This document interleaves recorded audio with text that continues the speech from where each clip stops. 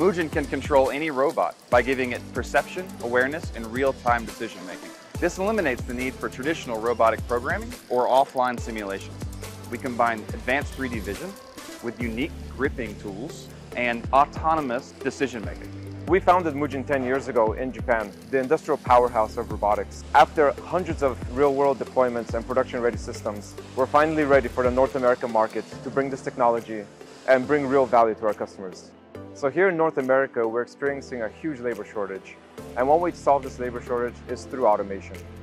In fact, every time you see manual picking operations, it is an opportunity to automate that process, make it more consistent, and add value Mujin creates intelligent robotic solutions for many different applications like palletizing, depalletizing, and piece picking.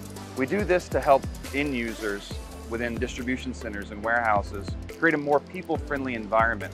The benefit of the Mujin technology that we have showcased in our demo here is the elimination of traditional robotic programming, that it's a fully autonomous, real-time reaction to an environment. When you have different case sizes introduced into your, into your scenario. The system can on the fly make directions, come up with a new path, as well as get it into different environments. MHS is a global systems integrator. We specialize in parcel systems as well as distribution and fulfillment. So one of the values that Mujin brings to MHS and our ability to provide solutions for our customers is the overall solution in the background.